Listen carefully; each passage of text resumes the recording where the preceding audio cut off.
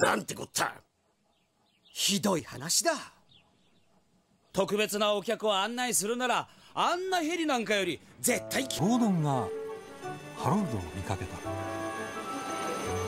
あいつ俺より速いと思ってるな。負けるもんか。今度はヘンリーの番だ。トップハムハット卿はハロルドが僕より優秀だと思って選んだんだろうけど冗談じゃない。トンネルの中は飛べないくせに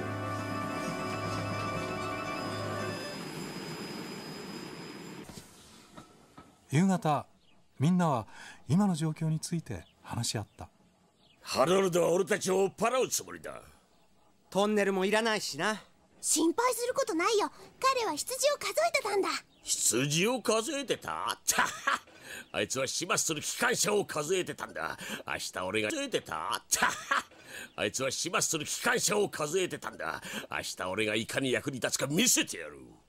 トーマスは公園のことも気にかかったがだと考えた。次の日ゴードンは列車を取りに行った。ゴードンお前がどれだけ速いかあのヘリに見せてやれよ。しかしハロルドに気を取られて信号を見損ない線路を間違えてしまった。大変だゴードン。前方に修理中のトンネルがあるぞ機関士は蒸気を減らしブレーキを強くかけた。トーマスがゴードンと壊れた貨車を救助した。トップハムハット卿がゴードンの機関士を咎めている。ゴードンはスクラップですか？なぜそう思うんだ？トーマスは思い切って答えた。僕らの代わりにハロルドを使うんでしょ？それで特別なお客がここにいるんだ。ところがみんなは言い争いに夢中でトーマスに気づかない。僕には新しい塗装をしてもらう資格がある。僕はこの鉄道の誇りだしバカバカしい。俺たち全員がこの鉄道の誇りなんだ。カバカしい。俺たち全員がこの鉄道の誇りなんだ。一日中ずっとこうなんだ。ジェームスが新しい塗装してもらってんで自慢ばっかりさ。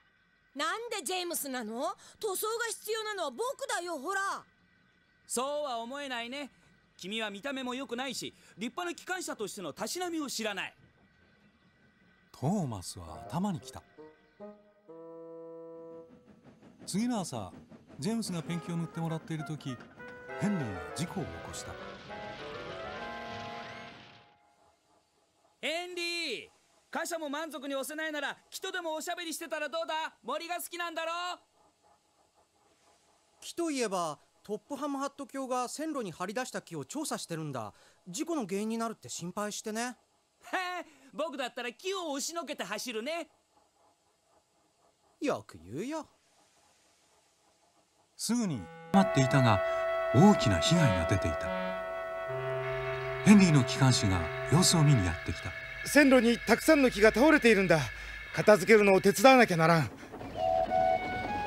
ドナルドはクレーン車をつないで出発しヘンリーもそれについていった。たくさんの木があちこちに倒れている。丘の斜面は丸裸のようになっていた。ここに住んでいた動物たちは一体どうなったんだろうな。ヘンリーは自分の貨車に丸太をいっぱい積むと家具などを作る製材工場に運んでいった。木が役に立っているのを見るのは嬉しかったが森の一部がなくな